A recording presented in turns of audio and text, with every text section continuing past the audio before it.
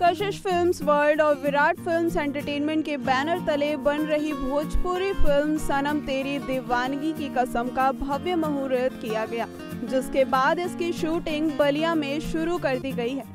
Film की shooting बड़े जोरों शोरों से की जा रही है। बता दें कि इस फ़िल्म में संजीव सिंह और प्राची मुख्य भूमिका में अपने अभिनय और अदा का जलवा बिखेरने वाले हैं। बता दें कि ये फ़िल्म शैलेंद्र कुमार के निर्देशन में बनाई जा रही है। इस फ़िल्म में गाँव, खेत खलिहान खेती किसानी को नेचुरल तरीके से दिखाने के लिए ही बलिया में इसकी शूटिंग की जा रही है। इस फ़िल्म में वो सब फिल्मांकन किया जा रहा है जो हर वर्ग के भोजपुरिया दर्शक एक साथ बैठकर देखना पसंद करते हैं। फ़िल्म सनम तेरी दीवानगी की कसम के निर्माता संजीव सिंह और रमाकांत सिंह हैं। निर्देशक शैलेंद्र कुमार हैं।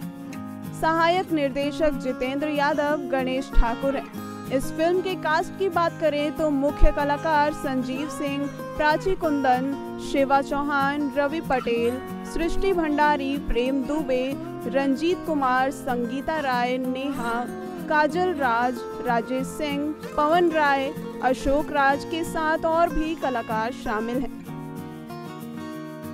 नेक्स्ट नाइन भोजपुरिया से नेहा की रिपोर्ट।